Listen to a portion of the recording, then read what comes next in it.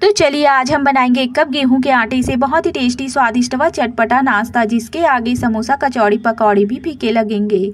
इस रेसिपी को बनाना बहुत ही आसान है तो इसे बनाने के लिए सबसे पहले हम आटा लगाएँगे तो इसके लिए मैं ले रही हूँ एक मिक्सिंग बाउल अब इसमें मैं डाल दूँगी एक कप गेहूँ का आटा, आधा छोटा चम्मच नमक। नमक आप अपने टेस्ट के अकॉर्डिंग डालें। अब इसमें एक आधा छोटा चम्मच अजवाइन और दो बड़े चम्मच मोयन के लिए तेल डाल देंगे। मोयन डालने से नाश्ता बहुत ही खस्ता और क्रिस्पी बनेंगे।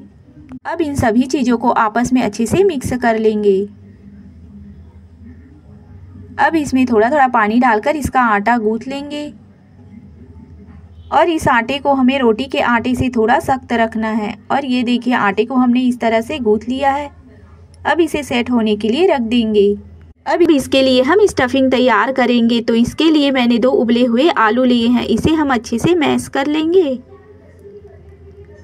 तो आलू को हमने अच्छे से मैश कर लिया है। अब इसमें ऐड करेंगे स्वादानुसार नमक, आधा छोटा चम्मच धनिया पाउडर, आधा छोटा चम्मच लाल मिर्च पाउडर, एक पिंच हल्दी पाउडर, आधा छोटा चम्मच आमचूर पाउडर, एक बारीक कटी हुई हरी मिर्च और बारीक कटा हुआ हरा धनिया डालेंगे और सभी चीज़ों को आलू में अच्छे से मिक्स कर लेंगे।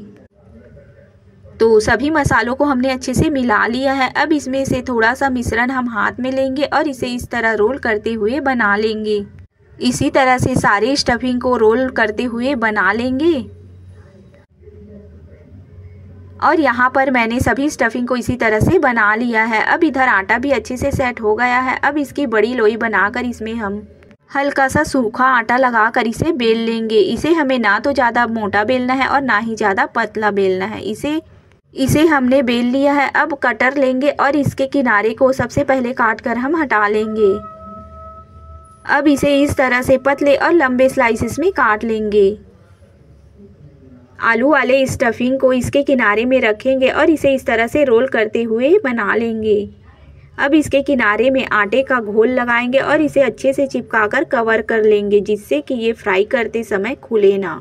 अब इसी प्रोसेस से हम सभी नाश्ते को बना लेंगे। और यहाँ पर मैंने तेल को गर्म होने के लिए रख दिया था। अब इन्हें गर्म तेल में एक एक करके फ्राई होने के लिए डाल देंगे। और इन्हें हम मीडियम फ्लेम पर फ्राई करेंगे। एक तरफ़ से सीखने के बाद इन्हें पलट कर दूसरी तरफ़ से भी हल्का सुनहरा होने तक सेक लेंगे। और ये देखिए, दूसरे तरफ़ से भी इन पर अच्छा सा कलर आ गया है। अब इनको हम तेल से निकाल लेंगे। इनको फ्राई करने में हमें पाँच से छः मिनट का टाइम लगा है। और ये देखिए कितने क्रिस्पी बने हैं। तो बनकर तैयार है। बहुत ही ज़्यादा टेस्टी, क्रिस्पी समोसा रोल। इसे बनाना बहुत ही आसान है।